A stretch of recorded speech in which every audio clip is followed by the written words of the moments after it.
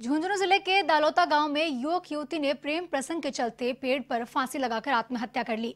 जानकारी के अनुसार गाँव के ही बिल्लू और मनोहर व चंद्रकला ने प्रेम प्रसंग की वजह से आत्महत्या को अंजाम दिया। पेड़ पर लटके होने पर मृतका की बहन ने फांसी पर लटकते हुए देखा तो घर वालों को इसकी सूचना दी। और बाद में मौके पर पहुँचे पुलिस को भी सूचना दी गई। पुलिस ने दोनों शव उतार कर अजीत अस्पताल की मोर्ची में रखवा दिया है, जहाँ पर मेडिकल बोर्ड से पोस्टमार्टम करवाकर शव परिजनों को सौंप दिया।